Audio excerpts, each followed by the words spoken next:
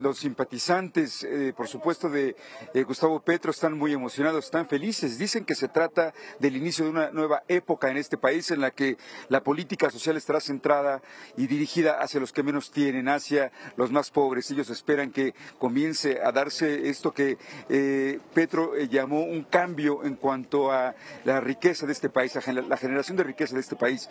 Habló de que ya no será basada en la extracción, por ejemplo, de minerales y de petróleo, sino en el trabajo agrícola, en el trabajo en el, en el campo. Y por eso ayer mismo, en su presentación, ya, ya eh, después de haber sido declarado presidente electo, estuvieron presentes eh, muchos, eh, muchas personas de la comunidad indígena de este país, incluso algunos que su trabajo está centrado en la producción de hoja de coca. Así es de que este es uno de los puntos, digamos, que más importantes en cuanto a las propuestas del, del quien será presidente Gustavo Petro, la política social enfocada hacia los que menos tienen, Nicole, eh, Nacho. Raúl, eh, creo que vale la pena retomar lo que han sido estos meses en Colombia. Tú has seguido puntualmente eh, pues esta campaña, particularmente entre Petro y Hernández después de la primera vuelta. Una campaña muy polarizante, basada principalmente en el modelo económico, ¿no? Algunos acusaban a Petro de ser comunista, estar en contra del capitalismo. Él dice que no va a terminar con el capitalismo, que al contrario quiere cambiar la producción de riqueza, sobre todo en cómo generarla. Pero yo te quiero preguntar de lo que han dicho sobre lo que viene, la reconciliación, ese discurso que tanto hizo falta durante la campaña en la que se dieron con todo, Raúl.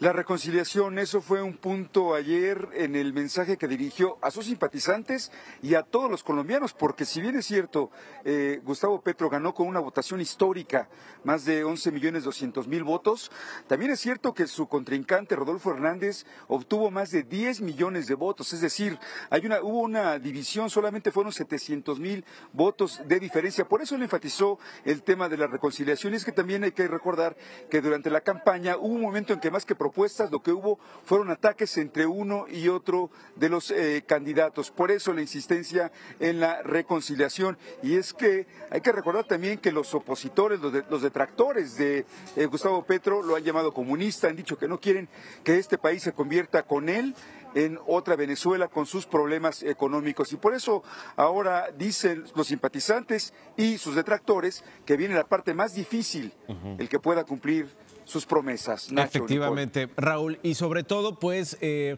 desmentir o no lo que eh, vimos en acusaciones durante la campaña, que hay que decirlo, tuvo mucho odio, eh, se manejó mucho en redes sociales, lo que decían ambos candidatos en ese entonces era información falsa mm. sobre sus perfiles y sobre sus planes de gobierno. Pero por lo pronto, ahí está el triunfo de Petro y de Márquez. Gracias, Raúl, felicidades por tu cobertura y estamos en contacto. Buen día. Y va a asumir el cargo en agosto, vamos a si eh, va a cumplir esas promesas que eh, ha dicho durante su campaña.